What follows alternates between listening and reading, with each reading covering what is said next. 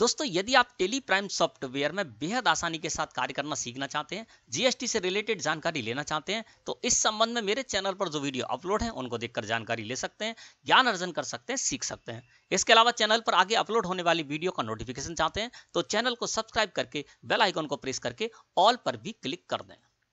तो चलिए दोस्तों, देखते हैं कि आज हम क्या सीखने जाएँगे, आज का हमारा टॉपिक क्या रहेगा।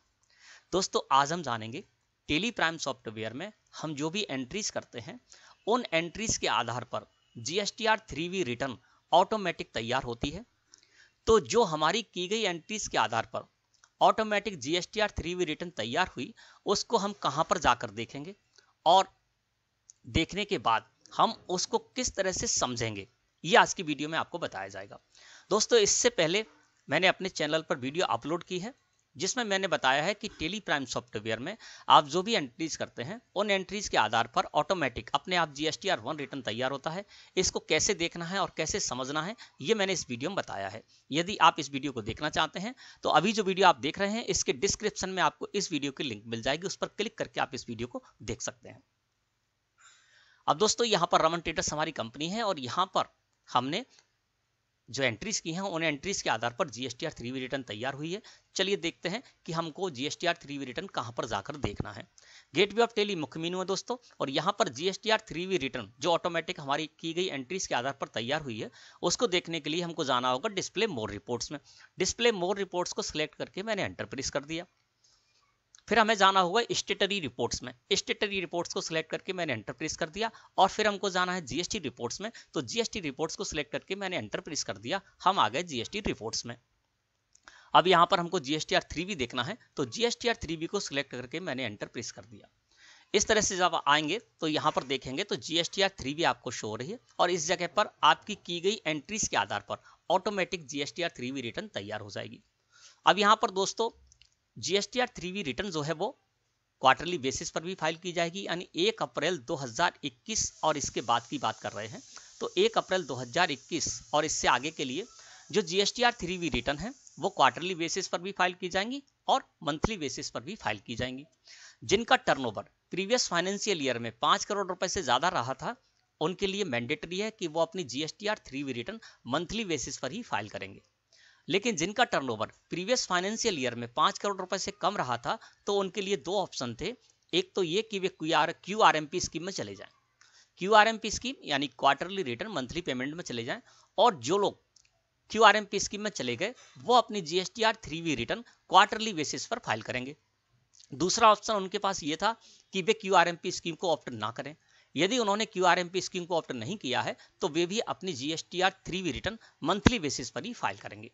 अब यहाँ पर जो भी आपको करना है, अगर आप मंथली हैं तो क्या करेंगे? अल्ट के साथ F2 प्रेस कर देंगे और मंथ का आप यहाँ पर पीरियड ले लेंगे। जैसे मान लीजिए यदि आप मंथली हैं, है ना? और तो क्या मंथली हैं तो आप क्या करेंगे? मार्च पीरियड की अपनी जीएसटी थ्री रिटर्न फ़ाइल करने जा रहे हैं तो हम कर देंगे एक मार्च 2022 से लेकर और 31 मार्च 2022 ठीक है ना?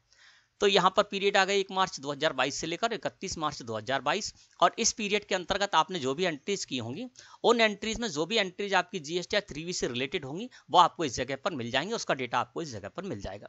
क्वार्टरली में है तो आप अल्ट के साथ एफ़ प्रेस कर देते हैं। हमारी जो रवन स्टेटस है, वो क्वार्टरली है। तो यहाँ पर जनवरी टू मार्च क्वार्टर हमको लेना है। तो एक एक दो से लेकर और इकतीस तीन दो मैंने इस जगह पर कर दिया। अब देखिए यहाँ पर आ गया जीएसटी आर थ्री बी और एक जनवरी 2022 से लेकर 31 मार्च 2022 यानी पूरा क्वार्टर इस जगह पर आ गया। ये उसकी पीरियड हो गया इसका, ठीक है ना? अब इस पीरियड में दोस्तों हमने जो भी एंट्रीज की हैं, उन एंट्रीज में जो भी एंट्रीज हमारी आर थ्री से रिलेटेड थी, वो इसमें शामिल हो गई और इसका डेटा भी इसमें आ गया। तो किस तरह से आपको देखना है, कहाँ पर जाकर देखना है, वो तो आपको समझ में आ गया, है ना? अब यहाँ पर दोस्तों जो जानकारी जाती है हमारी जी एस टी में, है ना तो कौन सी जानकारी आपकी जाएगी, किस टेबल के अंतर्गत जाएगी, ये आपको बहुत ही डिटेल में और बहुत ही सरल भाषा में आपको बताया जाएगा। लास्ट तक बने रहे, वीडियो आपके लिए बहुत ही ज़्यादा उपयोगी होने वाली है। अब जो आर थ्री रिटर्न तैयार हो गई, अब इसको हमको किस तरह से समझना है वो आपको बताते हैं। सबसे पहले हमारा कर्सर है टोटल बाउचर्स में। टोटल बाउचर्स में यहाँ पर है और इधर है बाउचर काउंट तो टोटल बाउचर्स में जब हम देख रहे हैं तो यहाँ पर थर्टी वन सो रहा है। इसका मतलब क्या है? इसका मतलब ये है कि इस पीरियड में, जो पीरियड मैंने यहाँ पर सिलेक्ट कर रखा है, इस क्वार्टर में मैंने 31 एंट्रीज की हैं, ठीक है ना? तो यहाँ पर टोटल वाउचर आ रहे हैं। टोटल वाउचर एंट्री मैंने 31 की है। नीचे आते हैं तो यहाँ पर इंक्लूड इन रिटर्न और इसमें सो रहा है ट्वेंटी सिक्स तो यहाँ पर यह कहा जा रहा है कि आपने इस क्वार्टर में थर्टी वन एंट्रीज की, जिनमें से इंक्लूड इन रिटर्न आपकी जो G S T R three B return है, उसमें 26 एंट्रीज इंक्लूड की गई हैं, जो आपकी G S T R three B से रिलेटेड है, ठीक है ना? तो आपको इस तरह समझना है। इसके बाद यहाँ पर पार्टिसिपेंटिंग रिटर्न टेबल्स है तो इसमें भी 26 हो रहा है, क्योंकि 26 इसमें शामिल की गई हैं। अब नीचे आते हैं तो यहाँ पर आप देखेंगे तो आपको शो होगा not relevant in this return और इसमें चार एंट्रीज हो रही हैं। इसका मतलब क्या है? Not relevant in this return इसका मतलब ये है कि आपकी जीएसटीआर थ्री से ये चार एंट्री हैं, वो रिलेटेड नहीं है। ठीक है ना? तो इसको जब हम सिलेक्ट करके एंटर प्रेस करते हैं तो देखिए एक तो कॉन्ट्रा वाउचर की एंट्री है, जो कि हमने की थी इस पीरियड में। तो ये इस इस जीएसटीआर थ्री से रिलेटेड नहीं है, इसलिए इसको इसमें इंक्लूड नहीं किया गया है। इसके अलावा नॉन जीएसटी ट्रांजेक्शन मैंने की है यहाँ पर, जो पेमेंट और रिसिप्ट की एंट्री की है, ये भी हमारी जीएसटीआर थ्री बी रिटर्न में नहीं जाएँगी, इनका डेटा नहीं जाएगा, इसलिए इनको क्या किया गया है नॉट रिलेवेंट इन रिटर्न में रख दिया गया ठीक है ना? अब यहाँ पर 26 एंट्री तो ऐसी हैं जो कि इस रिटर्न से शामिल हो गई। चार ऐसी हैं जो कि रिलेवेंट नहीं है इस रिटर्न से तो 30 हो गई। एक एंट्री कहाँ गई? तो देखिए, नीचे जब आएँगे तो यहाँ पर देखिए, एक एंट्री हमारी इस जगह पर है। यहाँ पर शो हो रहा है अनसर्टेन ट्रांजेक्शन करेक्शन नीड्स इसमें एक सो रहा है। इसका मतलब ये है कि एक एंट्री ऐसी है हमारी, जब आपको यहाँ पर कोई भी अंक सो तो आपको इस तरह समझना है कि एक एंट्री हमारी ऐसी है जगह दो, चार, पाँच आपकी एंट्री हो सकती है तो आपको उसी तरह से इसको समझना है। एक है यहाँ पर, इसका मतलब ये कहा जा रहा है कि ये जो एक एंट्री है, ये आपकी जीएसटी या थ्री वी रिटर्न से रिलेटेड तो है, लेकिन इसमें आपने गलती कर रखी है, इसको सुधारिए, जिससे कि ये जो एंट्री इसका डेटा भी आपकी नीचे यहाँ पर जो टेबल है, उसमें शामिल हो सके।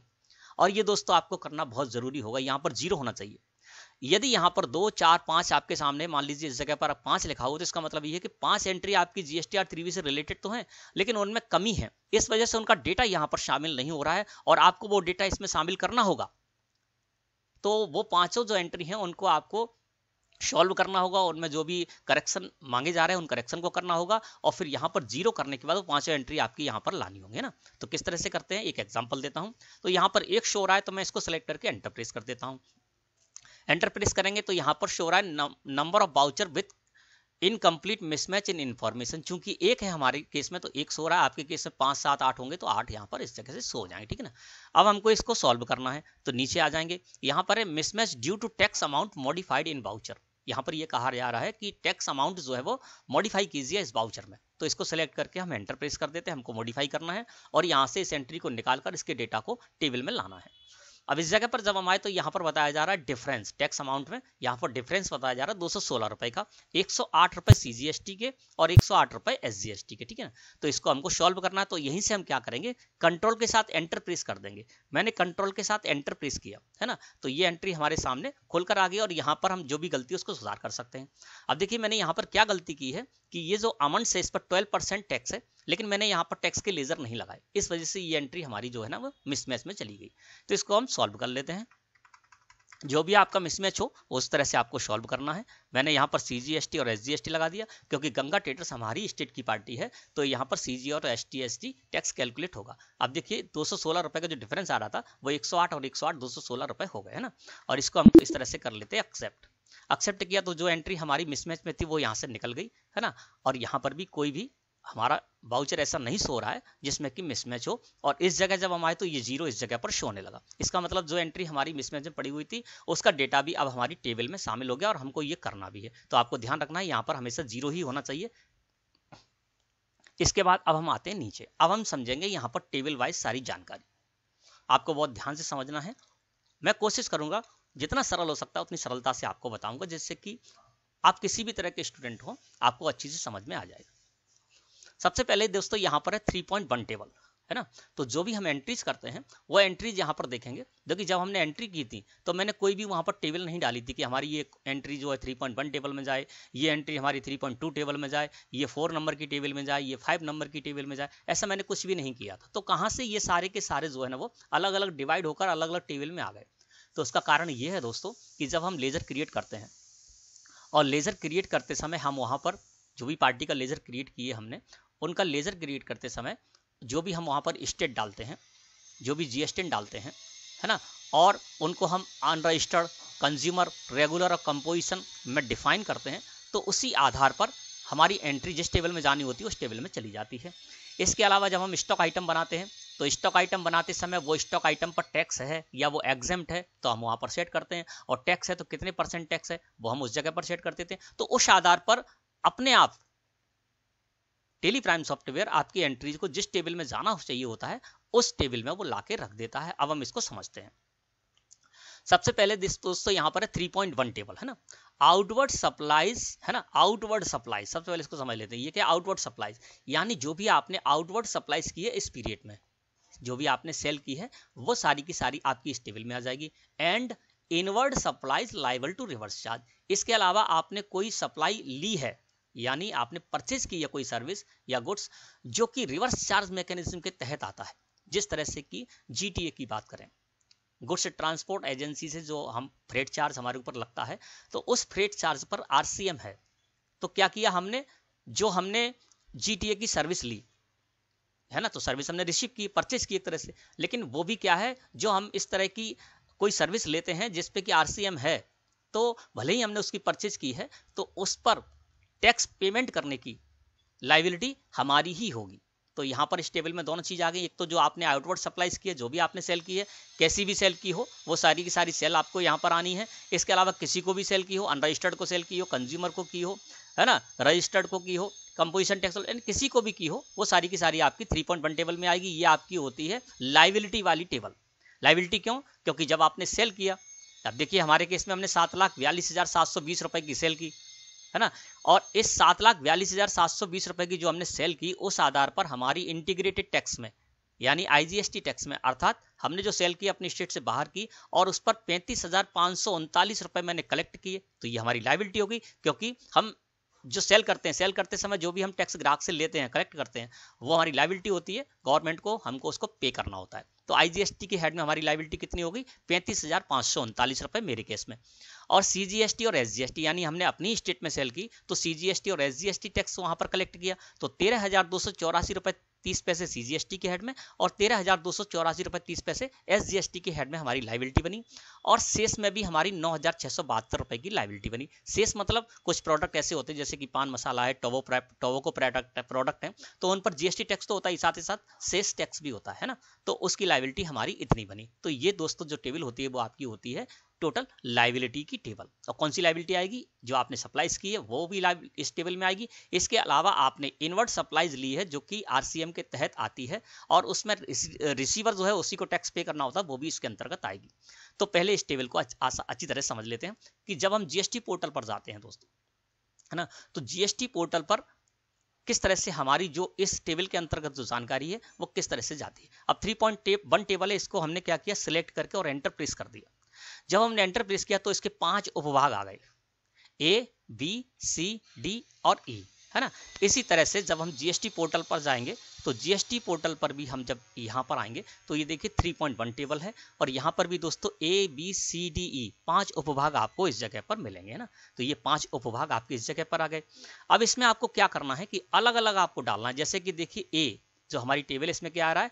Outward taxable supplies other than zero rated nil rated exempted है ना? तो जो आपने टैक्सेबल सप्लाई की है, वो आपको 3.1 टेबल के ए टेबल है, उसमें डालना है ना? तो यहाँ पर जब हम देख रहे हैं तो देखिए 3.1 टेबल की ए टेबल है है ना? इस पर लिखा हुआ आउटवर्ड टैक्सेबल सप्लाईज तो यहाँ पर हम क्या कर देंगे? चार लाख अट्ठावन हज़ार तीन सौ बीस रुपए डाल देंगे। यहाँ पर टोटल टैक्सेबल वैल्यू में, है ना? और इसके बाद पैंतीस हज़ार एक सौ उनतालीस रुपए डाल देंगे आईजीएसटी के हेड में। तेरह हज़ार दो सौ चौरासी रुपए तीस पैसे और तेरह हज़ार दो सौ चौरासी रुपए तीस पैसे सीजीएसटी और एस जी एसजीएसटी के हेड में डाल देंगे। और शेष में हमारी जो लाइबिलिटी बन रही है, वो है नौ हज़ार छह सौ बहत्तर रुपए की। तो यहाँ पर हम शेष में डाल देंगे नौ हज़ार छह सौ बहत्तर रुपए। ठीक है ना?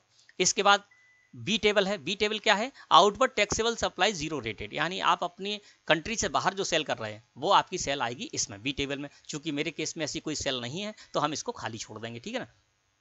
इसके बाद सी सी में क्या है? Other outward supplies nil rated exempt तो जो आपने सप्लाई की है, यानी सात लाख बयालीस हज़ार सात सौ बीस रुपए की जो आपने सप्लाई की, है ना? उसमें से चार लाख अट्ठावन हज़ार तीन सौ बीस तो टैक्सेबल प्रोडक्ट आपने सेल किया।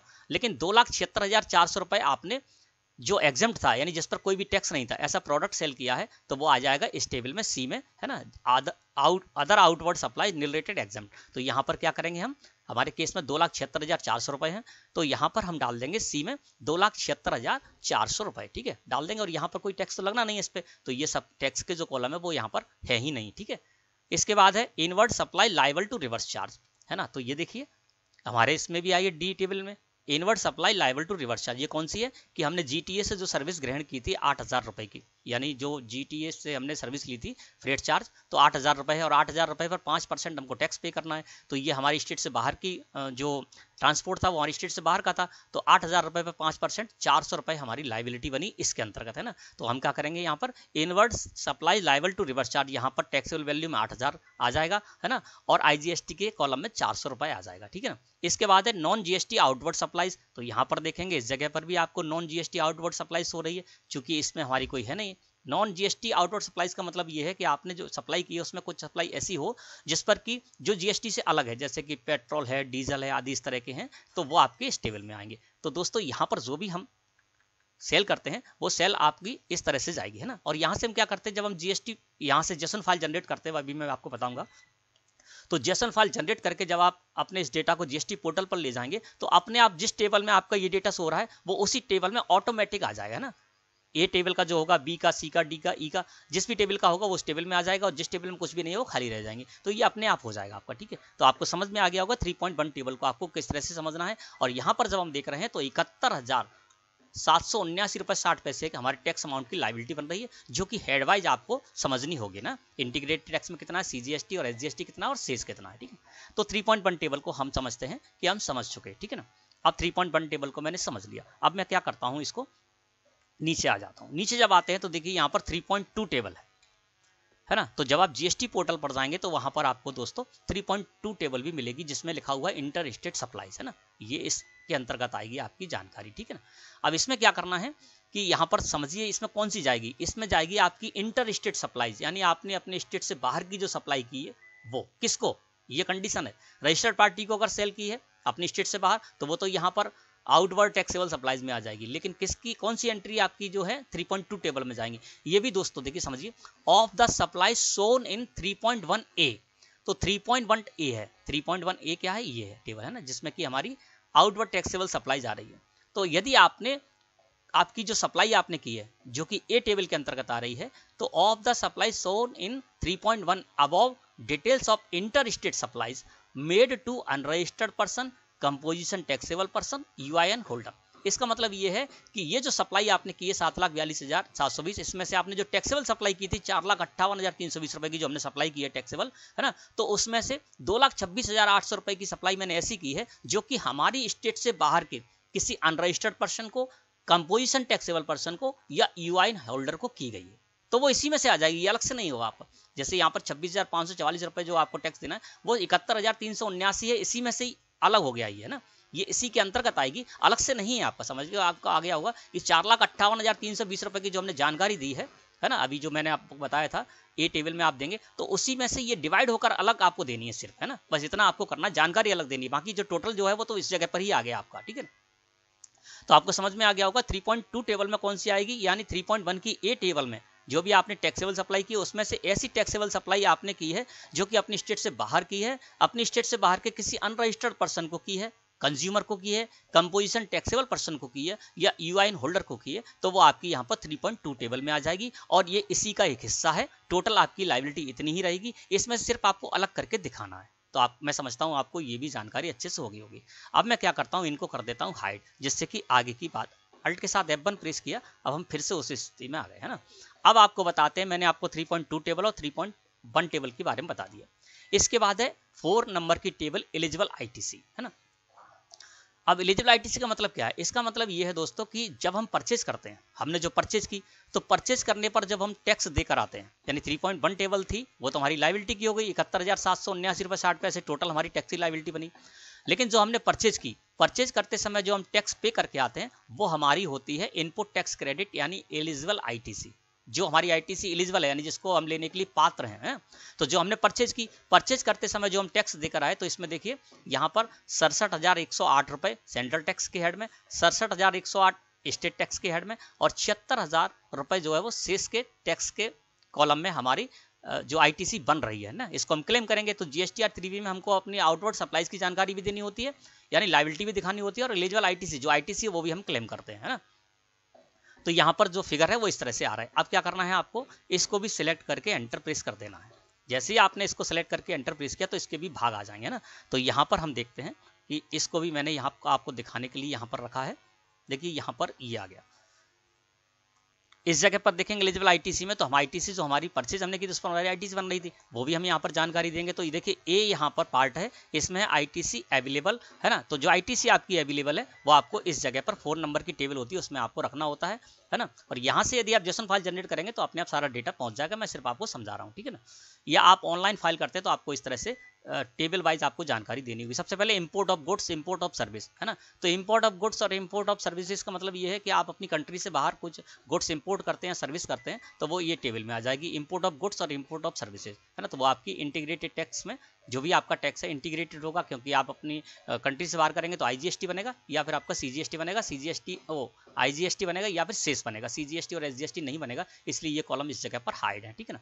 इसके बाद है inward supplies liable to reverse charge तो जी के केस में हमने जो भी यहाँ पर लाइबिलिटी हमारी बनी थी, वो हमारी जो जी टी यानी आर के तहत जो भी हमारी लाइबिलिटी बनती है, उस, वो हमारी एलिजिबल आई में भी शामिल होती है, उसके हम आईटीसी भी क्लेम करते हैं। तो चार सौ जब हमने यहाँ पर दिखाए थे थ्री पॉइंट वन टेबल में आठ हज़ार रुपये टैक्सेबल डाले थे और चार हज़ार रुपये आई की वहाँ पर लाइबिलिटी दिखाई थी। तो वो आई चार सौ रुपये हमारी इनपुट टैक्स क्रेडिट में भी शामिल होंगे, है ना? तो हम क्या करेंगे? यहाँ पर inward supply liable to reverse charge. यहाँ पर आईजीएसटी की हेड में चार सौ रुपये डाल देंगे। टैक्स वैल्यू नहीं जाएगी। सिर्फ़ टैक्स का अमाउंट जाएगा तो चार सौ रुपये में इस जगह पर डाल देंगे, है ना? इसके बाद इनवर्ट सप्लाईज फ्रॉम आईएसडी तो आईएसडी के द्वारा आपने कोई सप्लाईज ली है आईएसडी की और उसके द्वारा आपकी यदि कोई आईटीसी बनती तो आपकी इस कॉलम में आ जाएगी। यहाँ पर भी है ये वाला कॉलम इसके बाद है पाँच नंबर ऑल अदर आईटीसी है ना? तो देखिए यहाँ पर है ऑल अदर आईटीसी अब ऐसी कोई आईटीसी नहीं है आपकी। इंपोर्ट ऑफ़ गुड्स की नहीं है इंपोर्ट ऑफ़ सर्विसेज़ की नहीं है है ना? और इनवर्ट सप्लाई लाइवल टू रिवर्स चार्ज की नहीं है और इनवर्ट सप्लाई फ्रॉम आईएसडी की नहीं, इसके अलावा आपकी कोई आईटीसी बनती है तो जो हम नॉर्मल परचेज करते हैं, वो हमारी आईटीसी होती है ऑल अदर आईटीसी की, है ना? तो ऑल अदर आईटीसी के कॉलम में हम क्या करेंगे, अपने केस में, यहाँ पर हम डाल देंगे ऑल अदर आईटीसी में सड़सठ हज़ार एक सौ आठ रुपये है ना? तो यहाँ पर डाल देंगे आईजीएसटी में सड़सठ हज़ार एक सौ आठ रुपये और सॉरी आईजीएसटी की कोई भी हमारी जो आईटीसी नहीं बन रही है, हमारी जो आईटीसी वो सीजीएसटी और एसजीएसटी की हेड में है ना? तो सीजीएसटी के हेड में सड़सठ हज़ार एक सौ आठ रुपये और एसजीएसटी के हेड में भी सड़सठ हज़ार एक सौ आठ रुपये तो हम यहाँ पर डाल देंगे सड़सठ हज़ार एक सौ आठ रुपये और यहाँ पर भी डाल देंगे स्टेट टैक्स के कॉलम में सड़सठ हज़ार एक सौ आठ रुपये ठीक है ना? तो ये इस तरह से हम यहाँ पर और शेष के कॉलम में डाल देंगे हम छिहत्तर हज़ार रुपये है ना? ये हमारी आईटीसी है तो शेष के कॉलम में हम छिहत्तर हज़ार रुपये डाल देंगे, ठीक ना? इसके बाद जब यहाँ पर नीचे आएँगे तो आईटीसी रिवर्सल है। आईटीसी रिवर्सल का मतलब तो यहाँ पर भी देखिए आईटीसी रिवर्सल है। आईटी रिवर्सल का मतलब क्या है कि आपके जो सप्लायर है, उन्होंने आपके लिए कोई क्रेडिट क्रेडिट नोट इशू किया, है ना? तो क्रेडिट नोट इशू किया तो आपको आईटीसी वापस करनी होगी रिवर्स करनी होगी। तो हम क्या करेंगे? अदर्स में ऐसी कोई स्थिति बनती है, कोई हमको रिवर्स करनी है आईटीसी जो है ना तो हम क्या करेंगे? आईजीएसटी के हेड में जितना रिवर्स करना आईजीएसटी के हेड में डाल देंगे। सीजीएसटी एसजीएसटी के हेड में जितना रिवर्स करना है, उतना रिवर्स डाल देंगे। और इसके बाद हमारा क्या होगा? जो नेट आईटीसी अवेलेबल है, वो बचकर आ जाएगी ना। तो नेट आईटीसी अवेलेबल में क्या हो गया? चार सौ रुपये तो हमने यहाँ पर डाल देते inward supply liable to reverse charge तो आईजीएसटी के हेड में चार सौ रुपये तो देखिए यहाँ पर नेट आईटीसी में सो रहा है। आईजीएसटी के हेड में चार सौ रुपये सीजीएसटी एसजीएसटी के हेड में सड़सठ, एक सौ आठ, सड़सठ, एक सौ आठ। तो सीजीएसटी और एसजीएसटी के हेड में नेट आईटीसी अवेलेबल आ जाएगी आपकी सड़सठ, एक सौ आठ, सड़सठ, एक सौ आठ और छिहत्तर हज़ार आ जाएगी आपकी से इसके कॉलम में, इसके नीचे जो है ना वो पार्ट आएगा, वहाँ पर आपको नेट आईटीसी अवेलेबल इस जगह से सो जाएगा ना। तो इसको भी दोस्तों, मैं समझता हूँ, आप समझ गए होंगे, ठीक है? अब हम इसको भी अल्ट के साथ एफ़ प्रेस कर देते हैं। है ना? अब हमने चार नंबर टेबल भी समझ ली। इसका पाँच नंबर टेबल आएगी तो इसमें क्या होगा? Value of exempt nil rated and non GST inward supplies यानी आपने जो भी परचेज की है, कौन सी परचेज की है? अब देखिए एलिजिबल आईटीसी में क्या हुआ? जो भी आपने टैक्सेबल परचेज की थी, उस पर टैक्स बना था।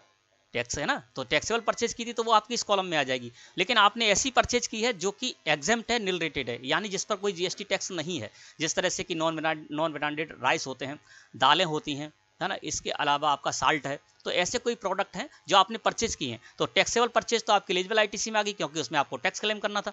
अब ये कौन सी आ जाएगी? ऐसी परचेज जो कि एग्जाम्प्ट है निल रेटेड है या नॉन जीएसटी इनवर्ट सप्लाईज आपने लिए, वो आपकी इस जगह पर आ जाएगी। और इसको भी सिलेक्ट करके एंटर प्रेस करेंगे तो यहाँ पर फ्रॉम ये supplier under composition scheme exempt and related supply है ना? तो ये आपकी इस, इस कॉलम में आ जाएगी। नॉन जीएसटी सप्लाई है यानी आपने कोई ऐसी सप्लाई ली है जिस पर की जो है जैसे कि पेट्रोल है डीजल आदि है जिन पर की जीएसटी टैक्स है ही नहीं है तो वो आपके इस कॉलम में चली जाएगी है ना? और ऐसा कोई प्रोडक्ट है जिस पर की जो कि एग्ज़ाम है जीएसटी के अंतर्गत तो है लेकिन वो एग्ज़ाम है निल रेटेड है, है ना?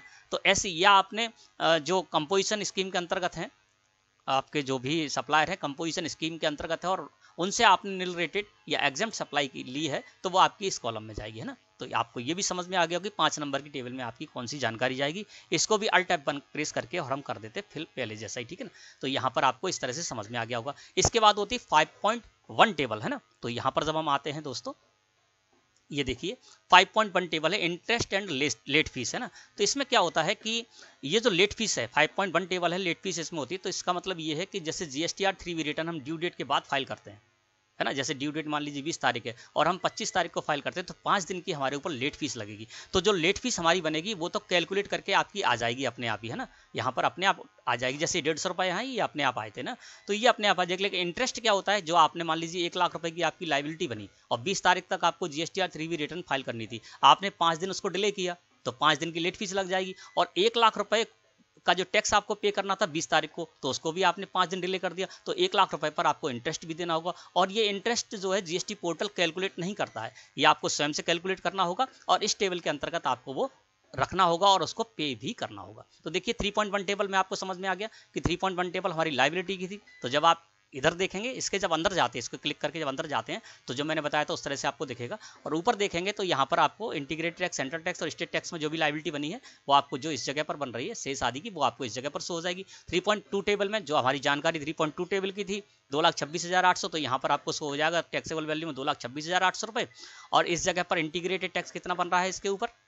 छब्बीस हज़ार सौ चवालीस तो छब्बीस हज़ार सौ इस जगह पर आ जाएगा। एलिजिबल आईटीसी जो हमने आईटीसी क्लेम की तो ऊपर ही आपको फ़ोन नंबर की टेबल में यहाँ पर शो हो जाएगा। C G S T S G S T I G S T और शेष में आपने जो भी आईटीसी क्लेम की है, वो इस जगह पर शो हो जाएगी। एग्ज़ाम टेन रिलेटेड जो हमने इन्वर्ट सप्लाई दी थी परचेज की थी तो वो कितनी की है? पच्चीस हज़ार छः सौ रुपये की की है। तो पच्चीस हज़ार छः सौ रुपये आपको इस जगह पर हो जाएँगे। यहाँ पर डिफाइन अलग अलग होगा। इंटर स्टेट आपने, यानी अपनी स्टेट से ऐसी सप्लाई ली है परचेज की है रिलेटेड एग्ज़ाम गुड्स की, या अपनी स्टेट से बाहर की है तो inter state inter state inter state और इंट्रा स्टेट में आपको इस तरह समझ में आएगा। इंटरेस्ट ऑन लेट फ़ीस मैं आपको बता ही चुका हूँ किस तरह से होगा। इसके बाद जब आप फ़ाइल कर देंगे, जब फ़ाइल करने के बाद तो 6.1 टेबल भी आ जाएगी। इसमें पेमेंट ऑफ़ टैक्स होगा। तो यहाँ पर देखिए paid through paid through cash, है ना? तो इस जगह पर जो चार सौ रुपए हैं आपको ये ध्यान रखना है, ये जो हमारी लाइबिलिटी बन रही थी inward supply liable to reverse charge में चार सौ रुपये ये चार सौ रुपये आपको कैश लेजर से ही पे करने पड़ेंगे। इलेक्ट्रॉनिक क्रेडिट लेजर से आप नहीं इसको पे कर सकते। इसके लिए आपको चालान जनरेट करना होगा और बैंक के माध्यम से आपको चार सौ पे करने होंगे। तो जो भी आरसीएम के तहत आपकी लाइबिलिटी बनेगी, वो आपकी किसी से भी सेट सेटअप नहीं होगी। ये क्या करना होगा? आपको पे करना होगा और पे करते ही आपको ये चार सौ रुपये की आईटीसी भी आप क्लेम कर पाएँगे, ठीक है ना? तो ये चार सौ रुपये इस जगह पर लिखकर आ जाएँगे जब आप इस तरह से भरने जाएँगे। चार सौ रुपये यहाँ पर आ जाएँगे और पेड थ्रू क्रेडिट तो जो आपकी जो लाइबिलिटी बन रही है ये वाली थ्री पॉइंट वन टेबल में जो लाइबिलिटी बन रही है, वो आप क्या करेंगे? अपने आईटीसी से, जो आईटीसी थी हमारी, है ना, उससे सेटअप करेंगे तो वो इस जगह पर आ जाएगी कि आपने जो इतनी आईटीसी थी, जो इतनी आपकी लाइबिलिटी बन रही थी, इतनी सारी जो भी इस जगह पर आ रही है, वो टोटल तीनों मिला के C G S T S G S T I G S T से सारा मिला के इस जगह पर पता चल जाएगा कि आपने इलेक्ट्रॉनिक क्रेडिट लेजर से कितनी जो आपकी लाइबिलिटी थी वो आपने पे की है सेटअप की है, ठीक है? तो इस तरह से आपको ये समझना है। ठीक है ना? अब ये सारी बातें दोस्तों आपको समझ में आ गई होंगी कि किस तरह से हम इसकी जानकारी देंगे। अब यहाँ पर टेबल वाइज जो जानकारी होती है, आपको टेबल वाइज ही वहाँ पर भी जानकारी देनी होगी। इसके साथ ही साथ हमको एक काम और करना होगा इसी में। आप पर कोई टैक्स की लाइबिलिटी बनती है तो वो लाइबिलिटी भी आपको पे करनी होगी। और यहाँ पर जो सेट ऑफ़ है, उसका भी एक नियम होता है। जैसे कि हमारी आईजीएसटी की हेड में पैंतीस हज़ार पाँच सौ उनतालीस की लाइबिलिटी बन रही है। और आईटीसी सिर्फ़ चार सौ रुपये है। तो आईजीएसटी की जो हमारी लाइबिलिटी बन रही है, पैंतीस हज़ार पाँच सौ उनतालीस रुपये पहले वो आईजीएसटी की इनपुट टैक्स क्रेडिट से सेटअप हो जाएगी। उसके बाद भी बचती है तो फिर आपकी सीजीएसटी से सेटअप होगी। उसके बाद भी आईजीएसटी की कोई लाइबिलिटी बच जाती है तो आपकी एसजीएसटी का जो आपका इनपुट टैक्स क्रेडिट है आईटीसी है, उससे सेटअप हो जाएगी, है ना? तो इस तरह से इसका रूल है।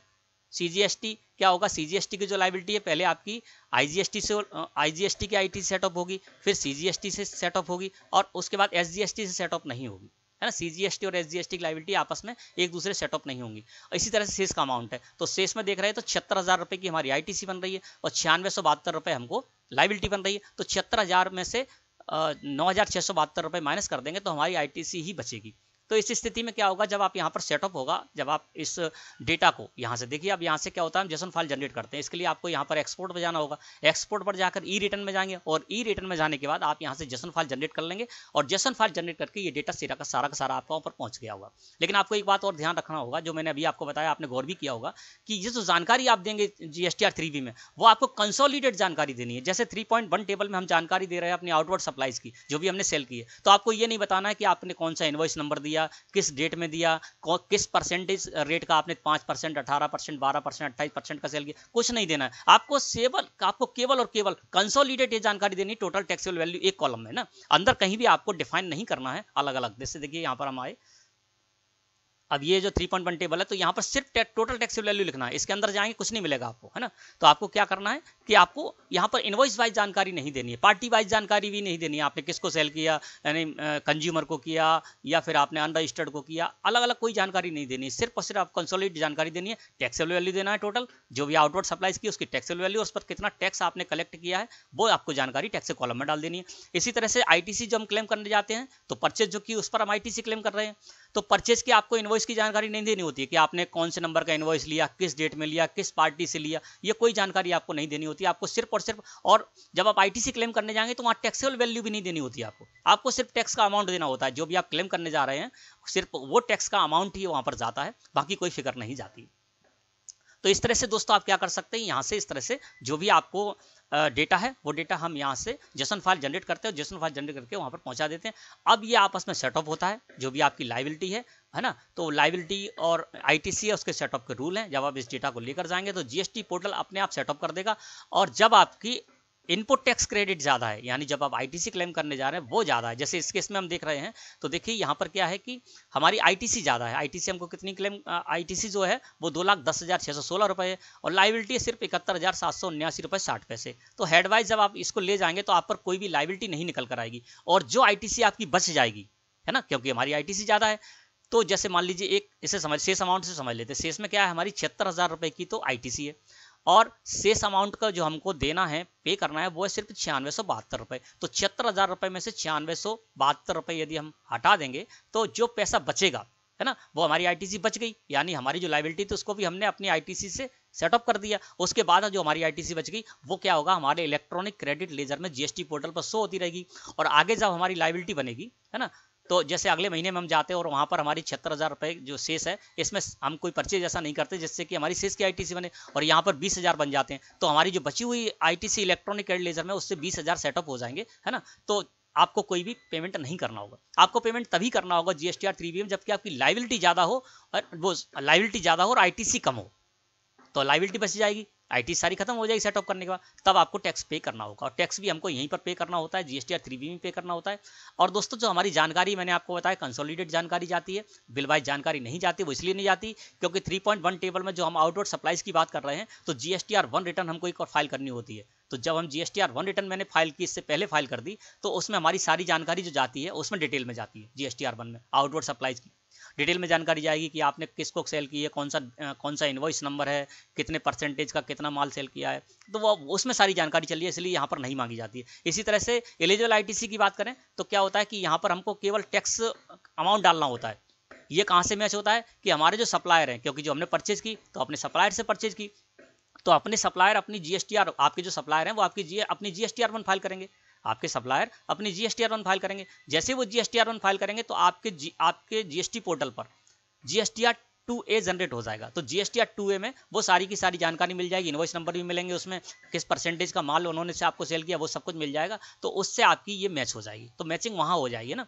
यानी आपकी जो लाइबिलिटी है, उसकी मैचिंग हो जाएगी आपकी जीएसटी आर वन से, जो आप यहाँ पर कर रहे हैं, है ना? और जो आपकी इनपुट टैक्स क्रेडिट क्लेम करने जा रहे हैं, वो आपकी जीएसटी आर टू ए से मैच हो जाएगी। जीएसटी आर टू ए आपके सप्लायर के जीएसटी आर वन से बनेगा। यानी उनकी सेल है, आपकी परचेज है। तो आपने जो परचेज किया, उनकी सेल है। तो वो सिर्फ़ अपनी सेल की जानकारी जीएसटी आर वन में देंगे तो सारी डिटेल दे देंगे कि हमने ये इन्वॉइस हमको, उन्होंने ये इन्वॉइस दिया, ये ये माल बेचा, इस इस परसेंटेज का माल बेचा तो उससे आपकी आईटीसी जो है वो सेटअप का समझ में आ जाएगा। तो इस तरह से आप जो है वो इसको समझ सकते हैं दोस्तों, है ना? तो मैं समझता हूँ कि आज का टॉपिक आपको अच्छी तरह से समझ में आ गया होगा। वीडियो अच्छी लगी हो तो लाइक करें। धन्यवाद।